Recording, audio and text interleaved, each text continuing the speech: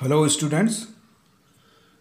So in the ongoing series of online classes, let us today study a poem Dust of Snow. So this poem Dust of Snow is written by Robert Frost and it is a brief poem but it conveys the poet's message coherently. The poem shows how human judgment on certain issues can be misleading.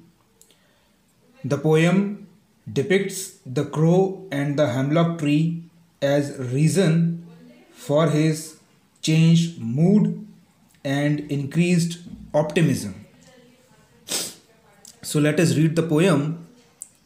The way a crow shook down on me the dust of snow from a hemlock tree has given my heart a change of mood and saved some part of a day I had rued.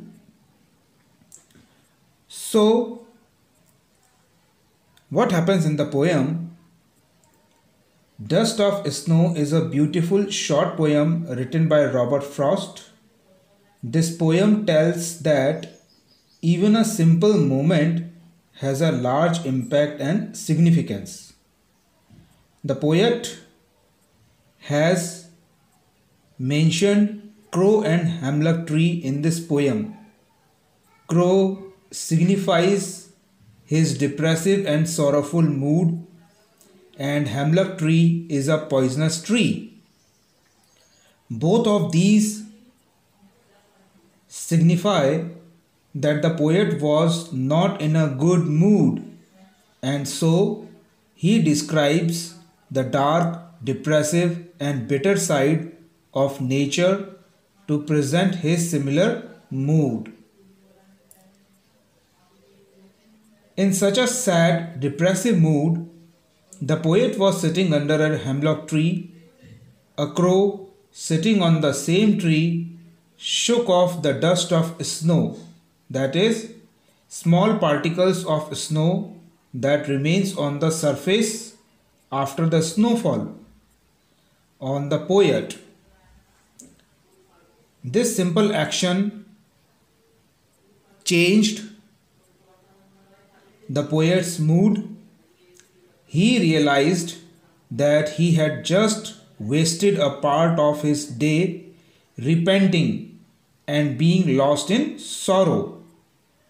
But the change in his mood made him realize that he should utilize the rest of the day in some useful activity. His sorrow was washed away by the light shower of snow dust. His spirit was revived and he got ready to utilize the rest of the day constructively and productively. So,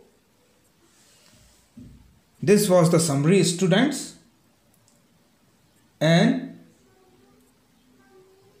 the poet is upset and sitting under the hemlock tree then suddenly a crow sitting on the tree shakes the particle of snow from the tree which falls on the poet.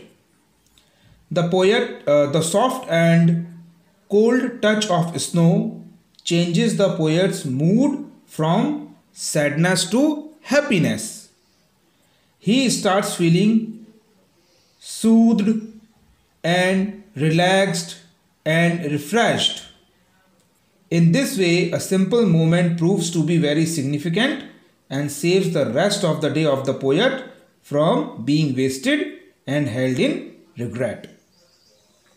So students, let us discuss about the rhyming scheme. The rhyming scheme of the poem is A B A B C D CD. Here crow rhymes with snow and me rhymes with tree. So A B A B. heart rhymes with part and mood rhymes with rued. So C D C D. So what is the rhyming scheme? A B A B C D C D.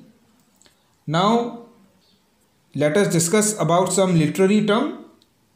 So first one is let us talk about alliteration.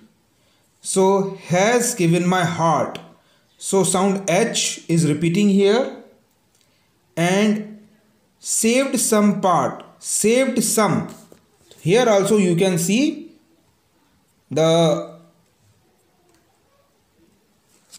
sound of s is repeating here. So you can see uh, alliteration is here and uh, inversion is also there when the structure of a sentence is changed by the poet to create rhyme, this poetic license is called inversion. So in stanza 1, you can see the inversion. So students, I hope that you have understood the poem very well. If you have any problem, you may talk to me. Thank you.